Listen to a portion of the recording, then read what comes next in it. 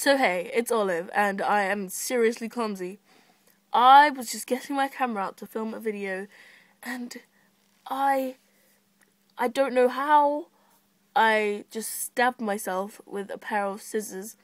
Then I dropped the camera and fell on the floor. Why? Oh, it seriously annoys me. Like, I have stapled my finger once when I was playing with stapler.